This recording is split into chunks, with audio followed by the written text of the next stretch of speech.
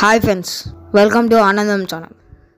అందరికీ హనుమాన్ విజయోత్సవం శుభాకాంక్షలు. ఈరోజు రాముడు ఆంజనేయ స్వామిని ప్రత్యేకంగా సత్కరించిన అపూర్వమైన రోజు చైత్ర పౌర్ణమి రోజు. ఈరోజు ఈరోజు మీకు దీని యొక్క విశిష్టత దీని యొక్క గురించి మీకు ప్రత్యేకంగా మీకు తెలియజేస్తాను ఫ్రెండ్స్. ఓకేనా? మనం స్టార్ట్ చేద్దాం. చైత్ర పౌర్ణమి నాడు హనుమాన్ విజయోత్సవం అంటారని పెద్దలు చెప్తారు. పరాశర సంహితను అనుసరించి హనుమంతుడు అవతరించింది వైశాఖ బహుళ దశమి నాడు అని పరాశ మహర్షి చెప్పారు ఫ్రెండ్స్. తర్వాత శ్రీరాముడు సీతామాతతో కలిసి అయోధ్యను చేరుకున్నాక లంకలో రావణుడిపై విజయానికి కారణం హను హనుమంతుడు. హనుమంతుడు అని రాముడు అందరికీ తెలియజేశాడు ప్రకటించాడు. చైత్ర పౌర్ణమిలను హనుమాన్ విజయోత్సవంగా నిర్ణయించారంట. అంటే హనుమాన్ ఆ రోజు రాముడు అందరికీ ప్రకటించి అంటే యుద్ధంలో తను ఎంతో సహాయం చేశాడని చెప్పి ఆ రోజు హనుమాన్ విజయోత్సవంగా అదే ఈరోజు హనుమాన్ విజయోత్సవంగా చేశాడనమాట ఫ్రెండ్స్ నిర్ణయించాడు రాముడు. అంతేకాక ఇంకో కథనం కూడా ఉంది. అంటే ఈరోజు ఇంకో కథనం కూడా ఉంది. చైత్ర పౌర్ణమి నాడు ఆంజనేయ స్వామి వారి అసుర సంహారం చేయడం మూలంగా దీన్ని ఘనంగా హనుమాన్ విజయోత్సవంగా జరుపుతారంట. ఈ చైత్ర పౌర్ణమి నుండి వైశాఖ బహుళ దశమి వరకు నలభై రోజుల పాటు హనుమాన్ మండల దీక్షను చేపడతారు.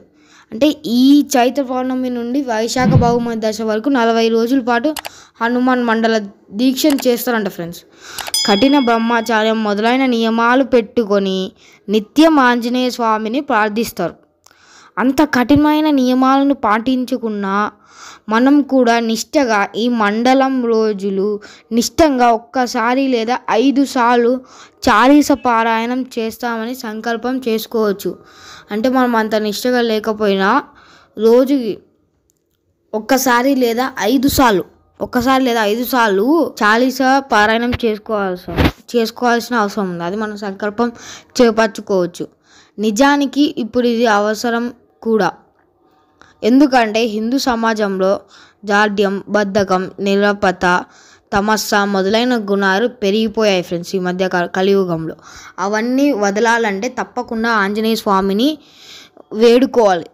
ఆయనను పూజించాలి. అప్పుడే హిందూ దేవులలో చైతన్యం ఉట్టిపడుతుంది. అంటే ఆవిర్భవిస్తుంది. జడత్వం నశిస్తుంది. కనుక సంత సతాన ధర్మంలో పునర్వైభవం పునర్వైభోగం భారతదేశ సంరక్షణ ప్రపంచ శాంతి అనేవి సంకల్పాలుగా చేసుకొని మనం కూడా ఈ నలభై రోజుల పాటు ఇంట్లోనే హనుమాన్ చాలీసా పారాయణ చేయవచ్చు. మన కోసం చేసిన పూజ కంటే పది మంది మేలు కోరే చేసింది మరింత ఫలితం ఇవ్వడమే కాకుండా మనకు రక్షణను కామ్యసిద్ధులను కార్యసిద్ధులను ఇస్తుంది ఫ్రెండ్స్.